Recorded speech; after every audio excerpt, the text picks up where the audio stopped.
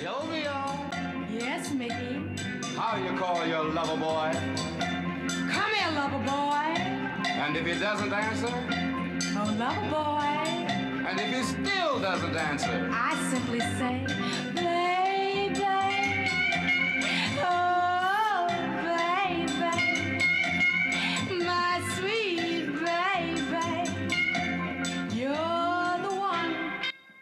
So that is a clip from the 1987 hit Dirty Dancing, and this year marks the movie's 35th anniversary. Fox is celebrating with an all-new competition inspired by the Patrick Swayze hit. It's called The Real Dirty Dancing, and it involves a group of celebrities acting out dance scenes from the movie to win money for a charity of their choice. It's hosted by Ellen Show DJ Twitch, and yesterday I got a chance to talk to him all about the show and more.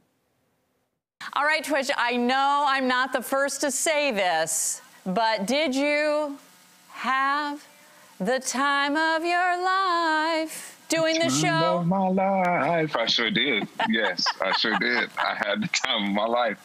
And I, yeah, I love it. I, you know, and what's also what's great about doing a show like this is that I'm. I feel like I'm forever ready for that setup. You know what I mean? And- It's like it's like the perfect softball pitch, a little low and outside, and you knock it out of the park every time. Absolutely, absolutely, one hundred percent. Yeah, and that, and it was. We had we had such a good time, and it, and this is the way that this is the way that you celebrate thirty five years of Dirty Dancing. You know, and and this is it. It's it's it's a movie that um, did so much for so many people and continues to do it. I mean, it transcends generations at this point.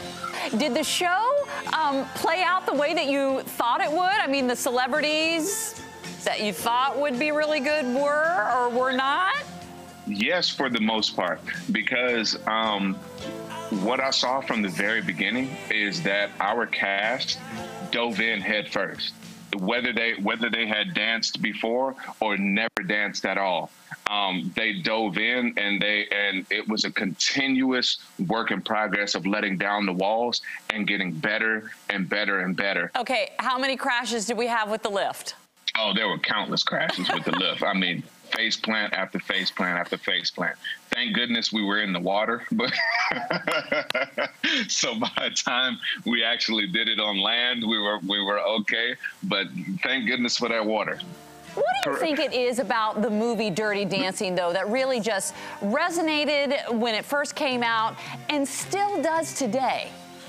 There's so much in it for everybody. I mean, whether you relate to Baby or you relate to Johnny, or um, you know, if you're super random and you really relate to uh, to Baby's sister Lisa, you know, like, there's some there's there's something in there's something in the movie for everybody, and I think that's the reason that it also still resonates now is that um, the story is dope, the dancing is dope, and at the end of the day, who doesn't want to have a Swayze moment? Like you may lie to yourself and say you don't want to, but like I know that I've definitely pictured myself dancing down, dancing, dancing down an aisle towards somebody.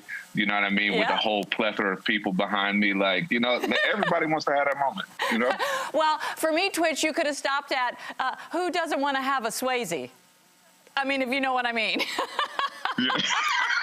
there you go.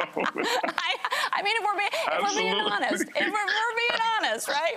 Um, well, speaking of being That's a- honest, absolutely. it's a big year for you. Um, Ellen's coming to an end. How are you feeling about that? Um, honestly, it's, it's a whole range of emotions, but I'm just I'm I'm so proud of my friend and the work and the the work and the love and the laughter that she has brought year after year, and I'm excited for her to continue her journey on to the next chapter. And and, I'm I'm proud and blessed that like that I was able to be a part of this family, um, and you know what has been the legacy and the legend of the the Ellen DeGeneres show. Reminder, you can catch The Real Dirty Dancing Tuesday nights at 9 right here on Fox 5.